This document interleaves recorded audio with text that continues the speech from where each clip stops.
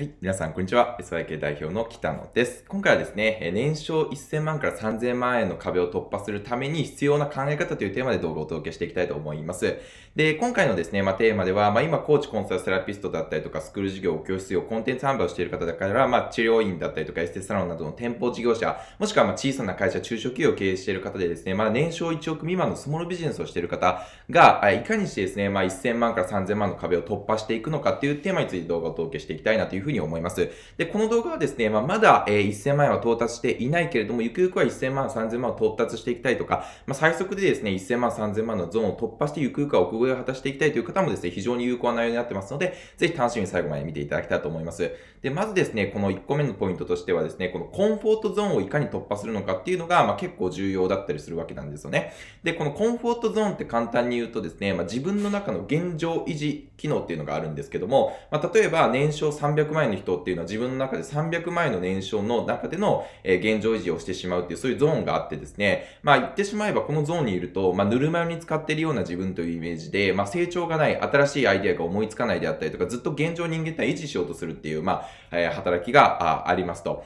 で、これがですね、実際僕らの目標達成であったりとかを、まあ、阻んでいたりするんですね。まあ、よくコーチングとかでもですね、まあ、僕昔コーチングやってましたけども、あのー、目標を達成できないとか、まあ、クライアントがですね、目標達成できない一番の原因っていうのは、実はまあ、ノウハウであったりテクニックの部分っていう問題もあるんですけど、それ以前に、マインドの部分で、コンフォートゾーンをですね、外側を行こうとする、その視野っていうのがですね、狭まってしまうゆえに、えー、今期もね、今まで例えば年商で1000万円だった人は、今期は3000万円行きたいと思っても、やっぱり1000万止まりだったりとか、なかなか現状維持できないっていう、えー、理由ってのはこういうところにあります。じゃあどうすればそのコンフォートゾーンっていうですね、強烈な、え、現状維持の自分の殻を破ってですね、その外側に行くことができるのかっていうと、これはですね、やっぱり新しい知識を入れるっていうのが必要に重要になります。で、これ自身は僕僕自身もこのコンフォートゾーンだったり、これは実際に脳科学的にも言われてるメカニズムなんですけども、人間っていうのは、今年商で、えー、3000万円の人っていうのは3000万円のコンフォートゾーンがあるわけですよ。で、その3000万円のコンフォートゾーンの中での、えー、取捨選択だったりとか意思決定しかできないようになってるので、そこから奥越えを行くっていうのはめちゃめちゃ難しい話なんですよね。まあ言ってしまえば、胃の中の蛙。例えば日本から出たことのない人が、え海外を視野に入れて何か挑戦をするっていう思考っていうのは、ずっと日本にいる人には、多分その日本の中での、えー、凝り固まった小さい価値観だったりとか、その自分の今の、えー、中の、えー、持っている武器の中でしか、えー、範疇でしか判断できないということになってしまうので、なかなか革新的な新しいチャレンジだったりとか、え、そういった挑戦というのができないと。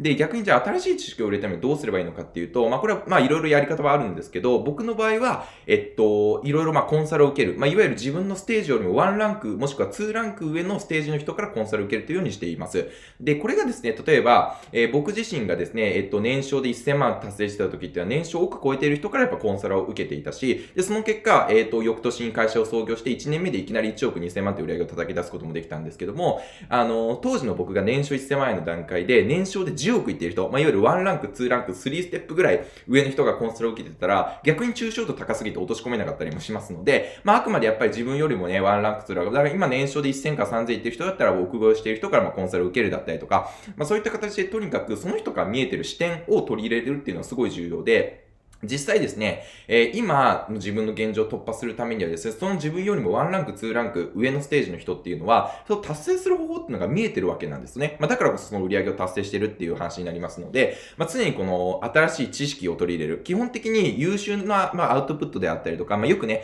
えー、起業家さんとかでも中にはなんかインプットにお金払ったことありませんとかっていうね、あの、格好つける人とかたまにいますけども、あの、じゃあその人は実際に新しいインプットをしないで斬新なアウトプットができるのかって言ったら、結局自分のいくら年商3000万円の頭の中でいろいろ考えたところで年商3000万円以上の間出てこないんですよ、人間って。だからこそ、その自分のコンフォートゾーンを外れるためにもあえてそういう人からまコンサルを受けて僕の場合だったら知識を吸収したりとか、まあ、コンサル以外も例えばそういうスクール入ってみるとかでもいいと思いますし、まあ、あの、書籍を読んでる。まあ、書籍に関してはですね、まあ、コンサルを受けることほどやっぱりそこまでのですね、効力っていうのはあまりなかったりはするので、えー、まあ、あくまで知識を入れるための、えっ、ー、と、まあ、視野を広げるための読書っていうのはいいと思うんですけど、まあ、ゆくゆくはそういう人から何か、えー、まあ、知識を取り入れていくっていう姿勢はね、すごい重要かなと思います。まあ、僕自身も今でもね、やっぱいろんなセミナーとかお金を払って受けたりとか、まあ、2ヶ月に1回はま必ずコンサルを何か新しいの買ったりとかね、あの、するようにやってますけども、これは実際僕自身もお金がなかった時からね、あの、やってたりもするんですけど、こういった知識を取り入れることで、えー、アウトプットの質が変わってくるということになりますので、ぜひね、意識してみてください。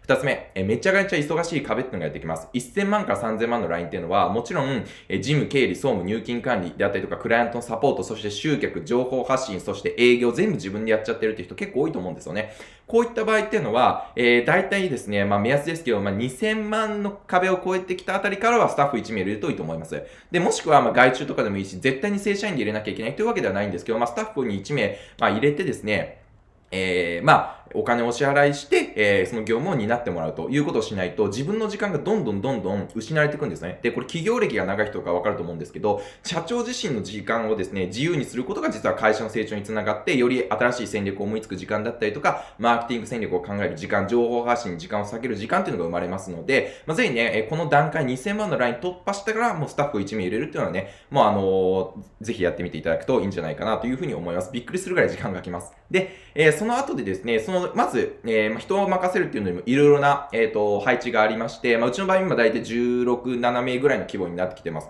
プラス外注さんとか、まあ、動画編集とかいろんなサムネイルとか外注さんも入れると、まあ、20名は優に超える規模になってるんですけども、えー、一番最初は、えー、事務経理とかそういう事務全般を任せる人を入れると。で、次に任せるべき2人目のキーパーソンっていうのは、まあ、セミナーとかもしくはセールス部隊とか営業部隊、いわゆる営業ができる人っていうのを、まあ、1人入れていくっていうのがすごい重要かなというふうに思います。例えば、あの、まあ、スクール授業している方とかであればですね、とか、まあ、あの、その、自分の後輩であったりとか、元生徒さんに、例えばそれを、あの、委託するっていうのもありだと思うんですけど、あの、よくですね、セミナーとか営業とかでも、まあ、やっぱり自分自身がコンテンツホルダー、情報発信者としてこうやって発信してると、自分じゃないと売れないんじゃないの？みたいな思ってる人いるんですけど、そういったただの、幻想でしかないんですね。なので、意外とですね、自分じゃなくても、あの、まあ、ある程度テンプレ化しておけばですね、えー、それはスタッフがやっても売れるということになりますので、あの、ぜひそこはもう勇気を持って任せていく。で、勇気を持って任せると、より自分がいろいろ動ける稼働範囲とかが増えるんで、それによってまた新しい商品とか講座とかを作って、それでさらに売り上げを横展開で増やしていくことができるようになりますと。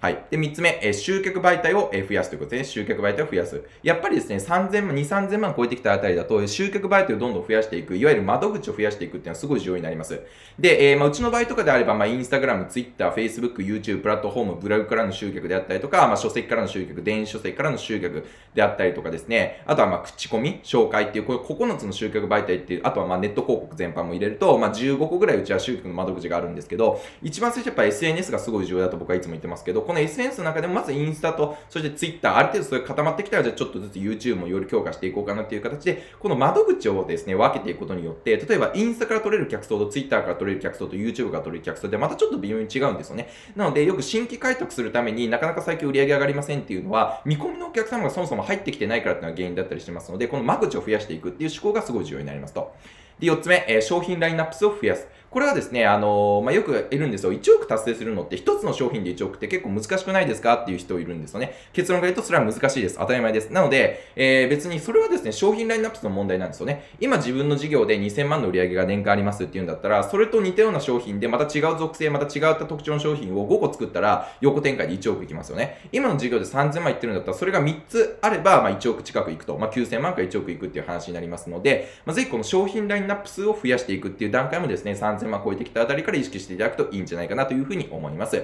で、またこれに関して、じゃどういうふうな商品を作っていけばいいのかっていうとかですね、細かいマーケティング戦略に関してはですね、私の日々の YouTube ライブであったりとかでもね、お伝えをしていきますので、ぜひそちらもね、楽しみにしておいていただければと思います。はい、ということで今回ね、動画少しでも勉強になったよという方は、ぜひ高評価ボタン、そして有益な情報を見逃さないためのチャンネル登録よろしくお願いします。またね、えー、さらに詳しい LINE と SNS のですね、集客の仕組み化販売についてね、学びていきたいという方は、ぜひ概要欄から LINE で友達になってですね、こちらの動画講義というのをね、ぜひ受けてみていただければというふうに思います。えー、それでは今回の動画は以上になります。最後までご視聴いただき、ありがとうございました。